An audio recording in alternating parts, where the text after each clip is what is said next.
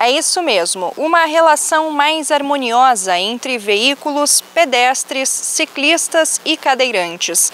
Esse é o principal objetivo do Plano de Mobilidade Urbana, que está sendo construído em Tubarão.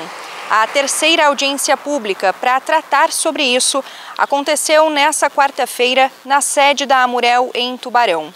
O resultado de um novo estudo foi divulgado no encontro. Os objetivos estratégicos são reduzir a necessidade de longas viagens, proporcionando deslocamentos mais eficientes, qualificar as condições de mobilidade da população em geral e proporcionar condições mais adequadas. Atualmente, o principal meio de transporte na Cidade Azul é o veículo individual, representando mais de 58%. Em seguida, vem o transporte coletivo, com 14,3%, seguido de bicicletas, com 8,3%, e os pedestres, que representam 19,3%.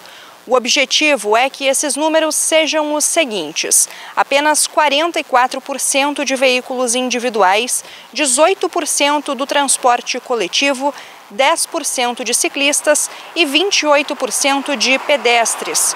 Uma nova audiência pública vai ser marcada nos próximos meses para dar sequência ao projeto e à implantação do Plano de Mobilidade Urbana de Tubarão. Por enquanto, essas são as informações e eu volto com você aí no estúdio.